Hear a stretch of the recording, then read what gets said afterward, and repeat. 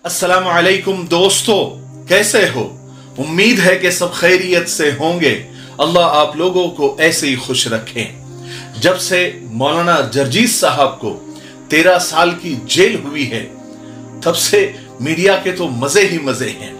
उन्हें अच्छा खासा चारा मिल गया है। नफरती डिबेट करने का, नफरती हेडलाइन लगाने का।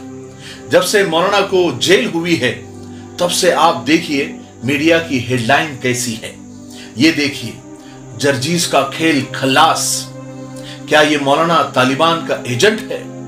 गौ माता का अपमान करने वाला मौलाना। मौलाना बोलेगा, खून खोलेगा। जहरीला बयान, जिहादी प्लान।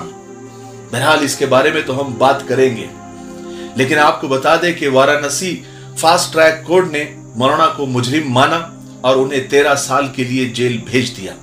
अब आगे के court, high court, supreme court में क्या होता है, ये देखने वाली बात होगी। बहरहाल, हम इतना ही कहेंगे कि जिस तरह बाबरी मस्जिद का कोर्ट में इंसाफ हुआ, ठीक उसी तरह मौलाना जर्जी साहब के साथ भी इंसाफ हो गया। लेकिन मीडिया को देखिए, कैसा मज़ा आ रहा है, और उन्हें कितनी जल्दी होती है किसी भी दाढ़ी टोपी वाले को तालिबानी कहने में, जिहादी कहने में, देशद्रोही कहने में। अगर कोर्ट के हिसाब से अगर गुनाह किया है तो वो गुनेगार है। उसके, उसको गुनेगार कहिए। लेकिन जिहादी, तालिबानी, हिंदुओं का दुश्मन, गौ माता का दुश्मन कहकर सिर्फ़ नफरत फैलाना और दो धर्मों के बीच की खाई को और बढ़ाना, क्या सिर्फ़ मीडिया का यही काम रह गया है? जिसने जिस हद तक गुनाह किया है, उसको आप उस हद तक रखिए ना। अगर कोई और धर्म का चोर पकड़ा गया तो वो सिर्फ़ चोर है। अगर कोई और धर्म का बलात्कारी पकड़ा गया तो वो सिर्फ़ बलात्कारी है। लेकिन अगर कोई दाढ़ी टोपी वाला या कोई ईमान वाला कोई मुसलमान अगर आ, किसी जुर्म में पकड़ा गया तो वो गुनेगार होने के साथ साथ जिहादी भी हो जाता है। मीडिया के हिसाब से तालिबानी भी हो जाता है पाकिस्तानी भी हो जाता है देशद्रोही भी हो जाता है। ये कैसी बेलगाम मीडिया है। ऐसी ही मीडिया के बारे में किसी ने क्या खूब कहा है? कि जमीर बिक गए, किरदार बिक गए, खून से छपकर अखबार बिक गए। इस कदर लूटा मुफलिस को सियासत ने, टूटे फूटे थे जो घर बार बिक गए। जिन पे यकीन था आवाज़ उठाने का, यानी मीडिया पर, जिन पर यकीन था आवाज़ उठाने का, वो भी आज सरे बाज़ार बिक गए।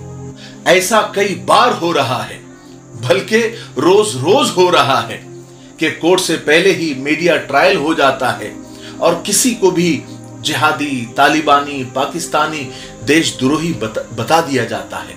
हालाँकि इसी बेलगाम मीडिया पर अभी सुप्रीम कोर्ट ने बड़ी सख्ती के साथ कहा कि इस तरह की बातें इस तरह की हेडलाइन और इस तरह की नफरती डिबेट से एहतियात की जाए। लेकिन अब तक कोई फ़र्क नज़र नहीं आया। और आजकल का माहौल तो बस झूठ का माहौल हो गया है, झूठ का बोलबाला है। जब तक सच चंद कदम चलता है, झूठ दुनिया का सात चक्कर लगाकर आ जाता है। मौलाना का आगे कोर्ट में जो होगा, सो होगा।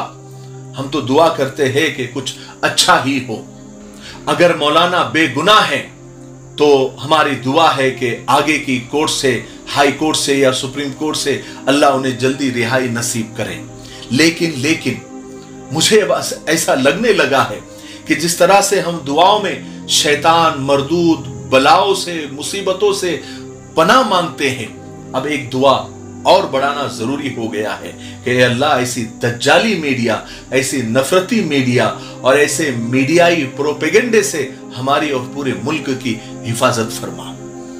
आज का वीडियो में इकबाल अशर साहब की वो बिकाऊ मीडिया के ताल्लुक से उन्होंने चंद लाइनें कही थी, वो कहकर अपनी बात को खत्म करता हूँ। यहाँ खुशबुओं की रफाकतें, न तुझे मिली, न मुझे मिली।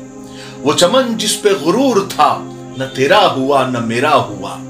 वो जो ख्वाब थे मेरे जहन में, न मैं कह सका, न मैं लिख सका। कि जबा मिली तो कटी हुई, कि कलम मिला तो बिका हुआ। मौलाना जर्जी साहब के इस केस के ताल्लुक से आपके जहन में क्या है? और आज की मीडिया पर आपकी क्या राय है? वो कमेंट बॉक्स में आप दो लाइन में क्यों नहीं होता? आप ज़रूर लिखिए, क्योंकि मैं आपके सारे कमेंट बड़े ध्यान से पढ़ता हूँ और मुझे बड़ा मोटिवेशन मिलता है और बहुत कुछ आपके कमेंट से ही सीखने को मिलता है। ठीक है?